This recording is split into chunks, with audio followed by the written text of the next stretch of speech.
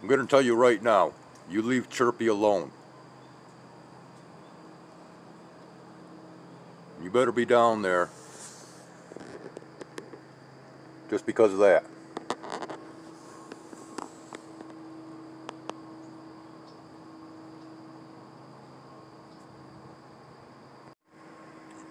Well, I guess seeing as how I'm out here monitoring this little guy here, I might as well go ahead and do a, a bit of a preview for my next upcoming video, which will be a little,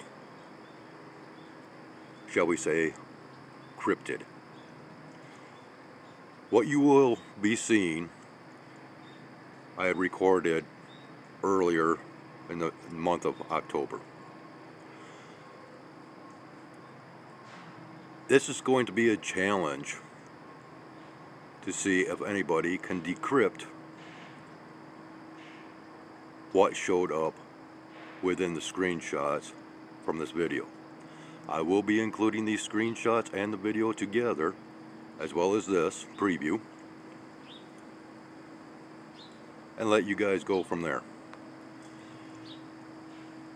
It may seem quite cartoonish what you will see, but it is from an actual video recording and you will see the raw recording as it is.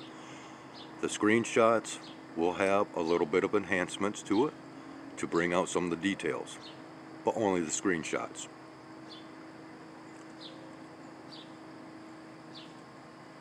Furthermore, I'm not sure what it is that keeps showing up within these things that I catch within the trees and the leaves these faces and all that whether they are truly cryptids or what the gist is but it is quite interesting nonetheless but I'll leave you viewers to the judgment over what it is that I am going to present to you. I would enjoy any and all feedback regarding this.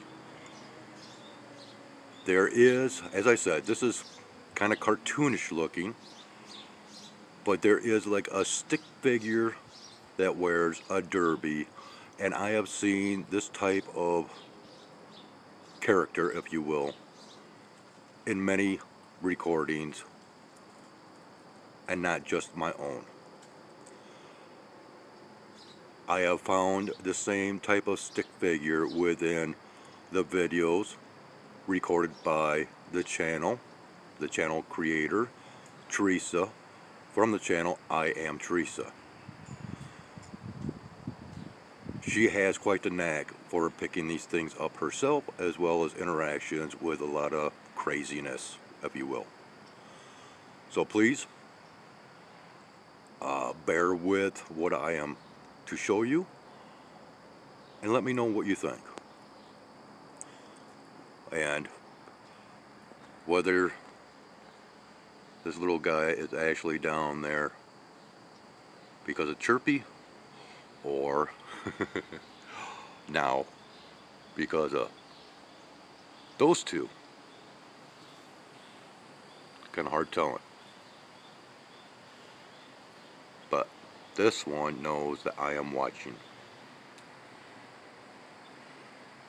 So once again, please check out the following videos and the screenshots.